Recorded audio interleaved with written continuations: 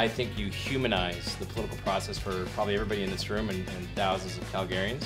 And you certainly humanize that uh, during the flood. So I think you should deserve a special round of applause for that.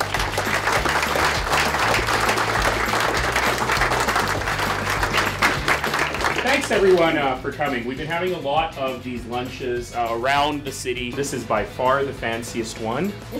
We've never had giant purple centerpieces before. We have to be vigilant. We have to continue to fight for it. We have to continue to use our voices, our hands, our hearts, our souls, our wallets to build the kind of community that we want. And, I, and to me, that is probably the single most important reason that I am spending a bit of my life in public service.